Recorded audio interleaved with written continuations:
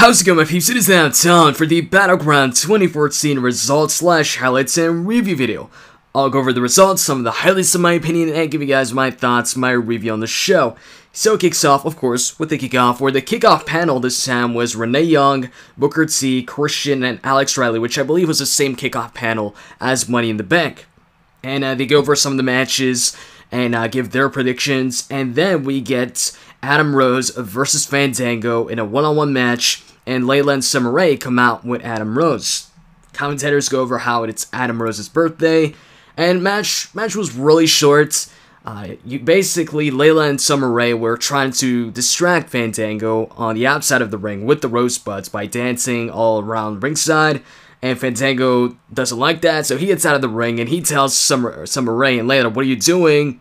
and he starts yelling at them, and then Layla slaps him on one cheek, and then Summer Rae slaps him on the other cheek, and then Adam Rose gets out of the ring, he puts Fandango back in the ring, he hits like a running elbow on him, and then hits a splash in the corner, and follows that up with the party foul, his finisher on Fandango, covers him, and wins the match. The panel then goes over some other matches on the card, and they show a video package for the Seth Rollins and Dean Ambrose match. And then we get an interview with the Usos about their 2 out of 3 falls match against the Wyatts.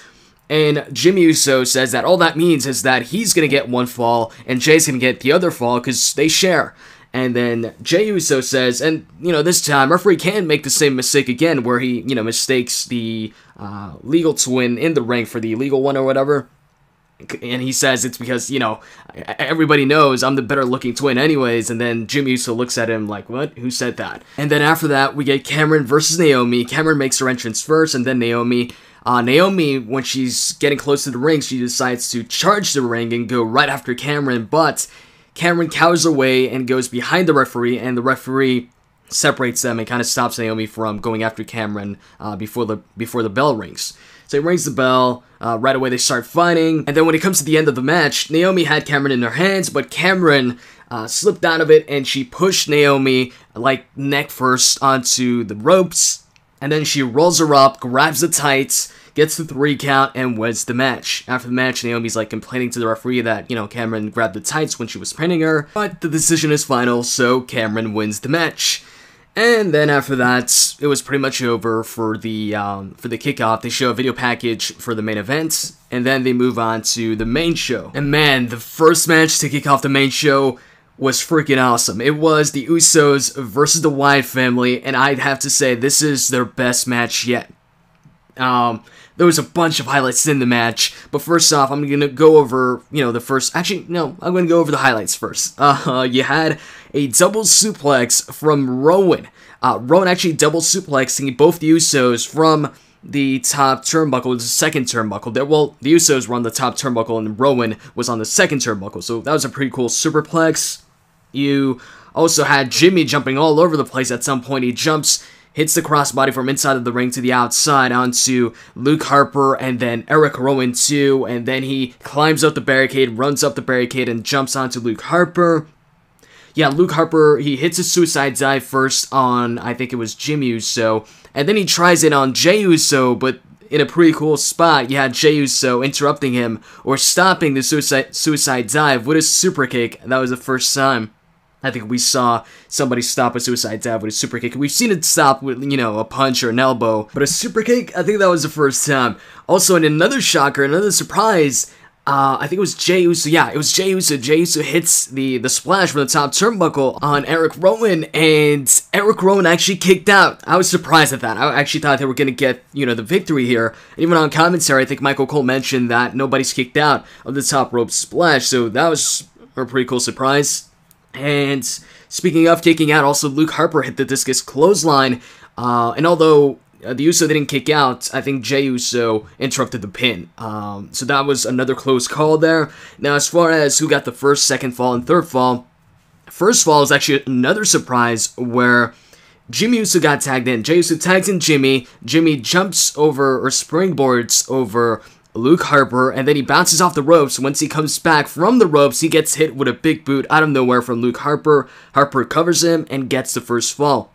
I actually didn't expect uh, Harper to get that, you know, that first fall with the big boots. And then after that, uh, Luke Harper, I think, um, yeah, Luke Harper tried to go for a back suplex on Jimmy Uso. Jimmy Uso the backflipped out of it, and then he tagged in Jey Uso without Luke Harper seeing. So Luke Harper instead charges uh, Jimmy Uso uh, towards the turnbuckle. Jimmy Uso gets out of the way, so Harper hits the turnbuckle, and then Jey Uso rolls up Luke Harper for the three counts. So first fall goes to the Wyatts, second fall went to the Usos, and then for the third fall, the Usos double super kicked Luke Harper, who was the legal man, and then they double super kicked Erick Rowan, who tried to get inside the ring. He was on the apron, got double super kicked as well. And then they went up the top turnbuckle, both of them on the same top turnbuckle, and hit a double splash on Luke Harper for the three counts. And so the Usos win after a great match, but the crowd actually booed the Usos once the Usos climbed up the top turnbuckle, like both of them for the double splash.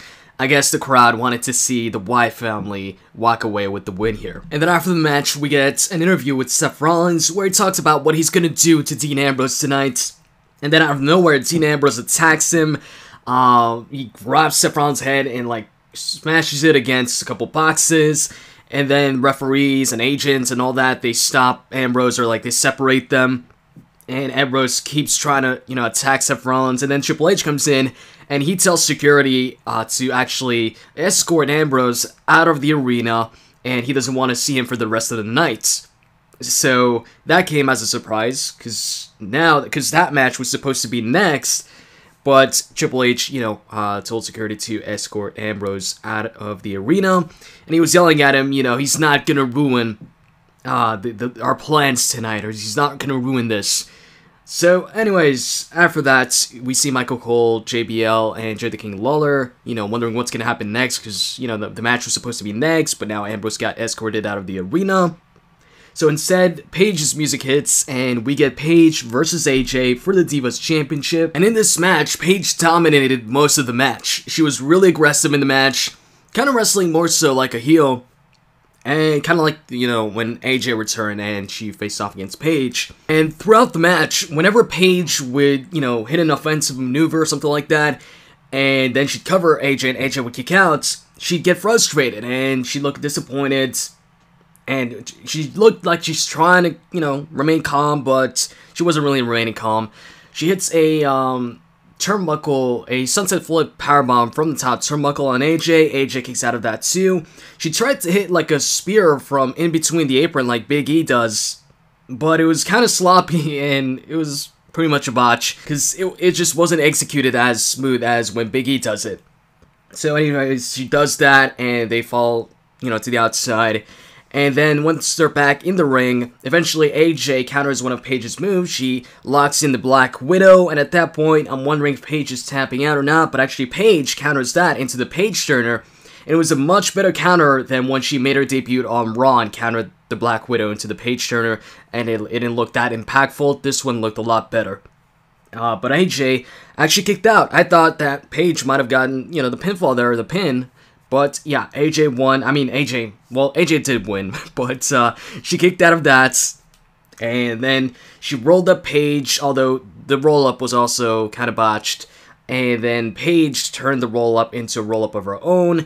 And then Paige, I mean, AJ kicked out. And then AJ, out of nowhere, hits a running Shining Wizards, covers Paige, and wins the match. Afterwards, we see Randy backstage in like some area Kane usually hangs out in and he's looking for Kane, and then Kane's behind him, and Randy basically tells him that he was wrong about what he did on Raw, where he RKO'd Kane, and pretty much he's you know he's apologizing, and then he waits he waits for Kane to apologize, but Kane tells him you know since he is the the devil's favorite demon, he doesn't apologize, and so Randy says, all right, that's fine, you know he understands that.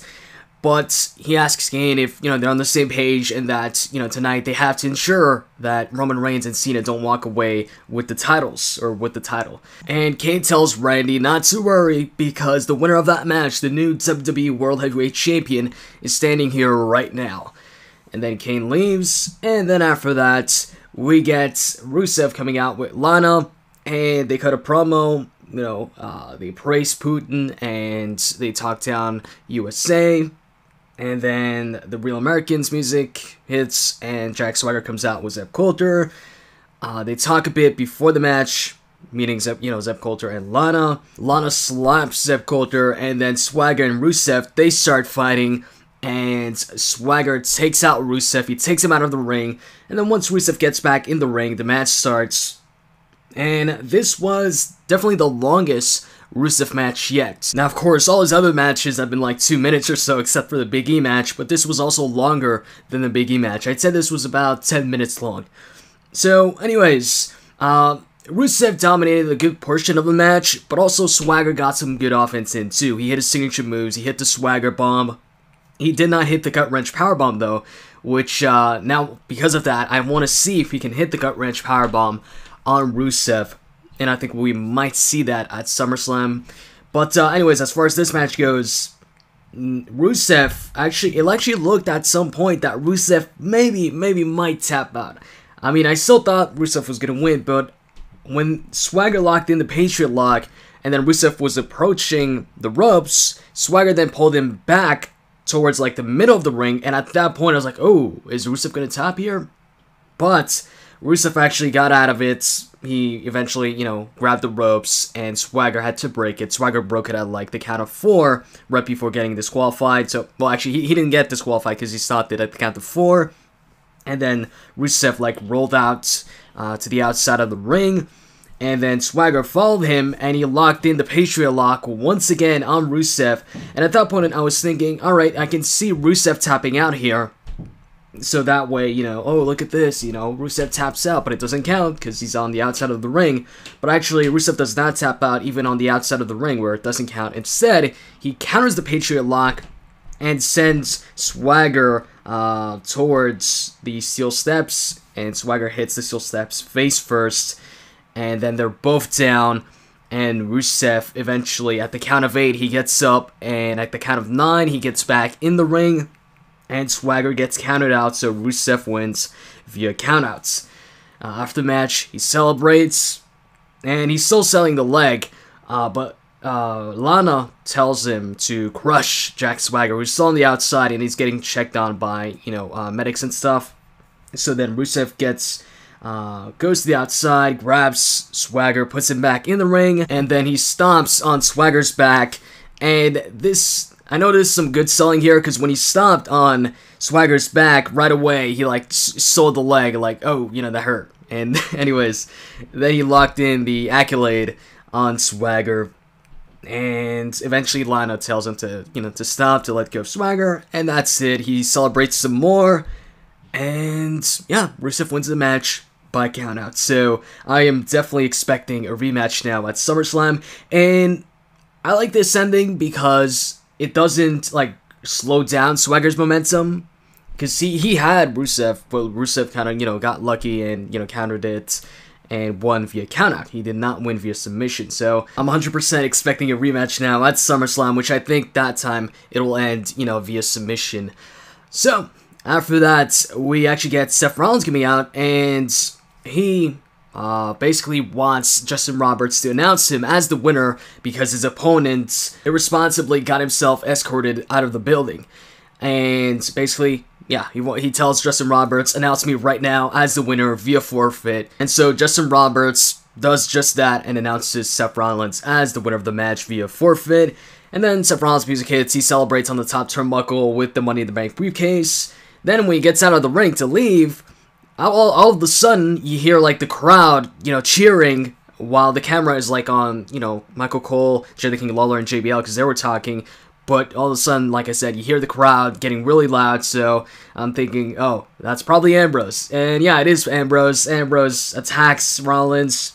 He somehow, you know, got back in the arena and then they get separated, but they keep on fighting. They keep on getting separated from the ones that are separating them, and you know Ambrose keeps on attacking Rollins. He even jumps on the, the announcer's table, and from there jumps onto Seth Rollins and keeps punching him. Eventually, Triple H steps in, and he's like, you know, enough of this shit, but he doesn't actually say that. But actually, Seth, I heard Seth Rollins in this segment say piece of shit. I, I'm pretty sure I heard him say piece of shit.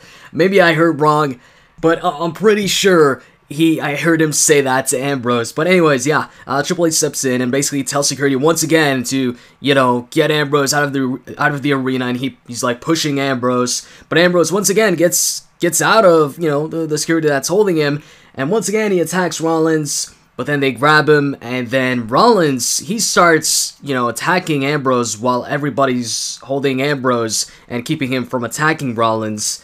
And Seth does that like two or three times until Ambrose finally gets escorted out. And then Triple H raises Rollins' hand. And that's it for that. After that, it was time for Chris Jericho versus Bray Wyatt. They show a video package first of the feud. As far as the match goes, they all got their signature spots in. You had Jericho going for the Lionsault, but Bray Wyatt got his knees up. You had Bray Wyatt trying to go for his uh, for Sister Abigail, but Jericho countered that, and then he tried to go for the Walls of Jericho, which also Bray Wyatt got out of. And uh, Bray Wyatt went for his the move he does on the apron where he sets him up in like a DDT position, but instead hits him with an elbow on the back of the head onto the apron. And at some point there was like a slight botch where it looked like Jericho was gonna go for a roll up on Bray, but they were kind of too close to the corner. So when he went to roll him up, Bray, you know, hit his head, the back of his head, onto the bottom turnbuckle, the actual turnbuckle. But in the end, uh, the end was actually not the winner because I was expecting Jericho to win, and Jericho wins. But uh, it just came out of nowhere where Jericho was down, and then Bray Wyatt went to go pick up Jericho, and out of nowhere, Codebreaker, he covers Bray and gets the three counts, wins the match. And then after that match, we see Seth Rollins in the parking lot, or heading towards the parking lot, and he's got two security guys next to him. And eventually he tells them, alright, you know, I don't need you guys. I'm fine. You can go. And then they go. But Seth Rollins still, like, scans the place, like, looks over to make sure if Ambrose is there. And then he's looking over at one spot, and he, he, he, he has his back turned to his car. And then we see from the trunk, the trunk of his car, Ambrose comes out of the trunk and Ambrose has like a crowbar or something in his hands, and he tries to hit Seth Rollins, but Seth Rollins sees him coming, or, you know, hears him coming, so he gets out of the way, dodges it, uh, but Ambrose still, he goes after Rollins. Rollins just tries to run away, even tries to, like, climb up some spot, but Ambrose catches him, and Ambrose just beats on Rollins some more. Eventually, Rollins just, like, pushes Ambrose away, and he gets in his car, and he runs off, leaves the arena he didn't try to run over Ambrose or anything like that, like JBL did a couple years ago uh, to John Cena. But uh, yeah, that's it for that segment. And after that, it was time for the Intercontinental Championship Battle Royal. And this was a fun match to watch. I really did enjoy this match. And actually, they all made their entrance. Uh, there wasn't any superstars inside the ring and, you know, like two or three entrances. Every single superstar in the match actually had their own entrance.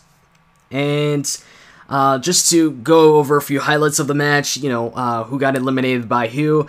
Uh, first two guys eliminated were Xavier Woods and Zack Ryder. Khali eliminated both of them, and actually Khali, uh, when he was in the match, or when the match begun, everybody went after Khali, but Khali like, kind of pushed them all back. So he eliminates Woods and Ryder, and then Sheamus actually hits a bro kick on the Great Khali, and then they all eliminate Khali together. And then we have like a cool stare down between Sheamus and Ryback. They fight it out. And eventually Sheamus gets the better of the fight and hits the bro kick on Ryback, bro kicking him out of the ring. And then Dolph Ziggler, um, or actually Sheamus tries to eliminate The Miz, but The Miz gets out of it, and Dolph hits the zigzag on The Miz. And then once he hits the zigzag on The Miz, The Miz rolls under the ring, and he stays on the outside like that for most of the match, towards the end of the match. So you guys can kind of figure out what's going to happen. Anyways, um, you also get Bo Dallas eliminating Titus O'Neil when Titus O'Neil was taunting, he was doing his, you know, his barking taunt. Uh, Bo Dallas pretty much ran up to him and hit him with a knee to the back, eliminating him. And Kofi was really impressive in this battle royal where he, he, he had some pretty unique ways to stay in the match, especially involving Cesaro. At some point, he went for like a sun, sun, sunset flip powerbomb on Cesaro to the outside, or to eliminate Cesaro, something like that. But Cesaro grabbed onto the ropes, and Kofi grabbed onto Cesaro while hanging, you know, hanging from basically Cesaro's legs. He was grabbing Cesaro's legs to, you know, not fall. And eventually he gets back in the ring And then at some other point, it looked like Cesaro was going to eliminate him, but Cesaro had just eliminated Big E with a belly to belly. Uh, so when it looked like it was going to eliminate Kofi, Kofi actually lands on Big E in an electric chair position. And Big E helps him towards the ring, so he walks in towards the ring. And then Kofi gets back on the apron. Actually, no, he doesn't get on the apron. Cesaro, who is on the apron, he grabs Kofi while Kofi is still on Big E's shoulders and grabs him in a suplex position, but he kind of uh, flips over and back inside the ring, so Kofi and Cesaro are now back in the ring, but then eventually Cesaro suplexes Kofi out of the ring and gets him out, eliminates him. And also, another cool spot, you had uh, Dolph kind of hanging on the second ropes, and Del Rio tried to go for the super kick. Del Rio was on the apron. He tried to go for the super kick on Dolph. Dolph ducked, and then he hit the DDT, the jumping DDT on Del Rio, but instead of Del Rio landing, you know, on the apron, um, or uh, on the mats, Del, uh, Dolph hit the DDT on the ropes. So what happened is Del Rio went like neck first onto the ropes when Dolph hit that jumping DDT and then got eliminated. So that was also another cool spot. And in another surprise, Heath Slater actually eliminated Cesaro, and that actually happened, I believe, right after Cesaro eliminated uh, Kofi. He, out of nowhere, Heath Slater just came in and just threw Cesaro out of the ring. So my prediction, uh, as far as Cesaro winning, uh, went went right out the window with Heath Slater, you know, eliminating him. But then Slater got eliminated by Sheamus, I believe, and eventually, uh, it was down to Dolph Ziggler and Sheamus after Dolph eliminated Bo Dallas with a dropkick. Now keep in mind, The Miz is still on the outside outside of the ring. So Sheamus, Dolph, they fight it out, and I'm fully expecting Sheamus to eliminate Dolph. But actually, Dolph eliminated Sheamus. That was a pretty cool surprise. I like that. And he got the elimination when Sheamus was on the apron, and Sheamus decided to go for the uh, shoulder tackle from the from the apron. What, what I think he's the, the, battering ram. Yeah, that's what he calls it. He goes for the battering ram on Ziggler, but Ziggler catches him with a super kick and eliminates Sheamus. But then his music doesn't hit or anything like that because, of course, The Miz, you know, is still he he hasn't gotten eliminated yet. Dolph doesn't know that, and then all of a sudden, from behind, The Miz throws Ziggler over the top rope and gets the victory. The Miz is the new Intercontinental Champion. And then following that, it was time for the main event. The Fatal 4-Way match, John Cena versus Randy Orton versus Kane versus Roman Reigns. They show a video package beforehand. And then, you know, they make their entrance. Now, as far as the match goes, so uh, they all got their finishers in. There was a lot of finishers. Uh, I think John Cena actually hit the attitude adjustment on every single one of his opponents in the match. He hit it on Kane, he hit it on uh, Randy, as well as Roman Reigns. Now, for the beginning of the match, Randy and Kane were on the same page. But eventually, Kane, I mean, Randy was on the outside, and Kane and Reigns were on the inside. Kane hits a move on Reigns. I think it was a DDT. And then he goes for the cover on Reigns. Reigns kicks out, and when Randy gets back in the ring, he starts yelling at Kane because, you know, he went for the pin. He tried to get the win himself. And then he's yelling at Kane, he's pointing his finger at him, he's pushing him. So then Kane uppercuts Randy, and then Kane then starts punching Randy in the corner. And that's where really it stopped being like a two versus two match, or like Kane and Randy teaming up. Anyways, um, you also had Randy hitting a double DDT from the second rope on both John Cena and Reigns. He then went on the pin. He, he then went for the pin. Sorry, on one of them, but Kane interrupted that pin. And after that, you also had Reigns uh, hitting the Superman punch on John Cena, and he followed that up with a spear but then it got broken up by I think Randy. By the way, speaking of Randy, he, he was actually for the first time in I don't know how many years, he was wearing uh, blue trunks. Because for, for the longest time now, he's been wearing, you know, the same black trunks. The only thing that changes is the color of the logos on it. But now it's actually black, uh, I mean, blue trunks. I don't know if it's going to be a regular thing or not. I know, it's not really important. I, I just noticed that because he's been wearing the same black chunks, except for, like I said, the logos, the color of the logos for, for years now. So what was I even saying now? Um, oh yeah. a cool spot in the match was Reigns had pretty much everybody down. Uh, he had Cena hanging on the ropes. He also had Kane hanging on the ropes. So what he did is he went for that kick on the outside where he runs and then it hits him with a kick to the head. He hit it on Cena first, and then uh, Randy was on the outside. He was on the announcer's table. He was hanging on the announcer's table, so he then hits it on Randy as well on the announcer's table, and then he runs towards Kane and he hits it on Kane as well. And then I, I thought he was done there, but actually he goes back to Randy, who's now like right in front of the barricade, and he hits a move that he hasn't done in a while. Actually, he's done the move, the spear, but he hasn't speared anybody through the barricade in a while. So he actually did that to Randy, so that was pretty cool. You know, the last, I don't remember the last time he did it. He, he used to do it like in the beginning, I think the first two or three Shield matches, he did the spear through the barricade, but he hasn't done it in a while.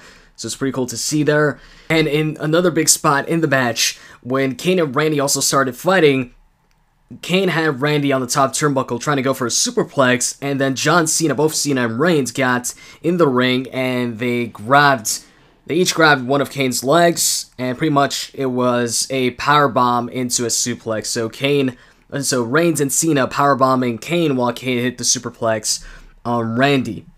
Right after they did that, Cena and Reigns had a stare down. It looked it looked like they were about to fight, but then in a, in a cool moment, Kane sat up, uh, and so both Cena and this was like right after you know the big move. Uh, so both Cena and Reigns look at Kane, surprised that he sat up after that. So then they go ahead and attack Kane.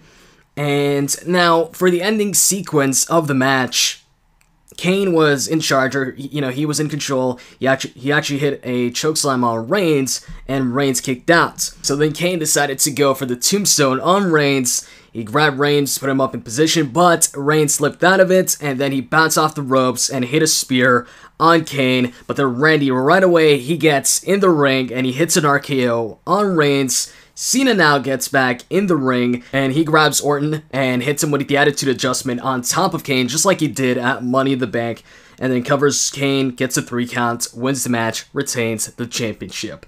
Uh, after the match, there was no Seth Rollins trying to cash in. I mean, he left the arena, you know, um, and there was no Brock Lesnar, unfortunately, coming out and hitting the F5 on Cena or, or anything like that. It was just Cena celebrating with the championship and then Cena leaving uh, still as champion. So, what were the highlights of the show? For me, the biggest highlight was the opening matchup, the Usos versus the Wyatt family. That match was awesome. Not only was it, in my opinion, the best match between the Usos and the Wyatt family, but I think it was also the match of the night, the best match of Battleground 2014. The match itself was just full of highlights.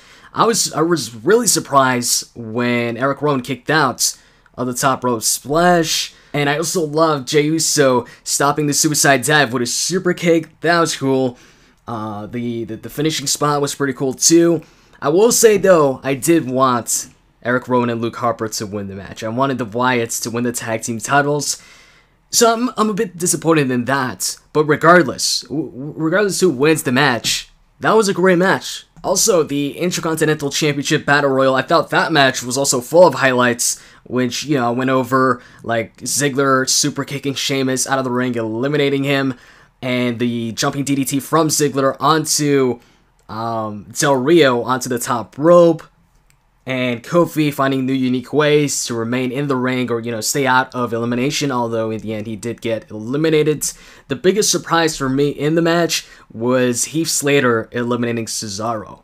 It wasn't Dolph eliminating uh, Sheamus, it, it really was Heath Slater eliminating Cesaro. Like, who, who would have thought that would happen? I personally thought that Cesaro was going to win the match but once he got eliminated, I wasn't surprised that The Miz won, especially with him, you know, playing possum on the outside for most of the match. You knew he was going to come back in that ring eventually, probably towards the end, and I thought, alright, The Miz is either going to come out towards the end, eliminate the last guy, and win, or if Sheamus is the last guy there, then maybe he tries to do that, but Sheamus sees it coming and eliminates him or hits him with a bro kick, something like that. But Dolph ended up being the last guy in part from the Miz, and the Miz, you know, eliminates eliminates him. And you know, maybe I would have preferred, you know, a different ending, but regardless, just like the Uso versus the Wyatt family match, you know, the match itself, I liked it. Uh, now, something else I noticed is I think this is this pay per view was the pay per view with the most amount of botches in, in a, in a while. Like I think I spotted a botch in most of the matches. Um, I think maybe the Usos versus the Wyatt family there wasn't a botch, and Rusev versus Swagger I don't think there was a botch there either. But the rest of the matches I think they all had at least one botch or so. And then when it comes to Dean Ambrose and Seth Rollins and Seth Rollins winning by forfeit, you know I definitely would have liked to see Ambrose versus Seth Rollins. I was disappointed that we weren't getting the matchup. Uh, although I did enjoy seeing them, you know, fight it out uh, in a couple different segments. I still would have liked to see, you know, match. I understand that this way they can have a rematch at SummerSlam without having Ambrose suffer like a pinfall loss to Seth Rollins because he's already lost so many matches on Raw SmackDown, and the ones he's he's won, he's won them by like disqualification. So I get that, you know, this way he doesn't necessarily lose like in a clean fashion. You know, he got screwed, but I still think you know they could have given Seth Rollins like the win via countouts or maybe disqualification or something like that. Like actually have you know the match, but you know a DQ happens or a countout, or maybe even you know Kane interferes and helps Seth Rollins or something like that. But like I said, I, I did enjoy the segments with Ambrose going after Seth Rollins, and then eventually Seth Rollins, you know, uh, leaves the building in his car. And then as far as the main event goes. Um, I thought it was better than what I expected. I didn't expect the match to be all that great or anything. I thought it was a you know pretty decent match. I definitely didn't think it was a bad match. I mean, you know, the winner was obvious, but still, like I said, I thought it was a decent match. So, what was my overall thought about the show? My rating for the show? I would give Battleground a 6.5 on 10. So, I hope you guys enjoyed this video, and if you did, as always, can click that like button down below, I'd really appreciate it, and in the comments section, tell me what you thought was the match of the night, and give me your rating for Battleground 2014. With that said, I'm out guys, see ya.